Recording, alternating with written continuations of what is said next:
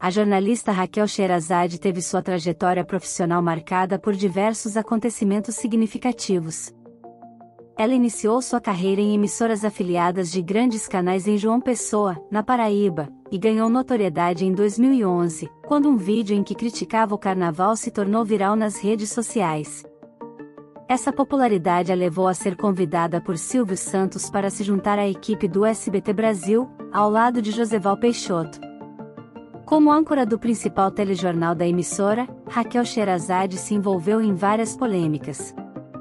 Em 2013, ela defendeu a liberdade de expressão do pastor e deputado federal Marcos Feliciano, mesmo após ele ter feito declarações consideradas homofóbicas. Devido a essas e outras polêmicas, Raquel Sherazade foi proibida de expressar suas opiniões durante o telejornal. A tensão aumentou a partir de 2019, quando ela se posicionou de forma crítica em relação ao presidente Jair Bolsonaro.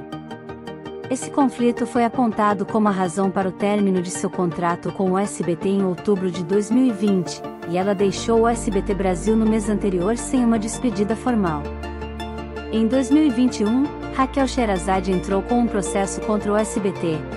Além disso, ela contestou seu status de contratada como pessoa jurídica.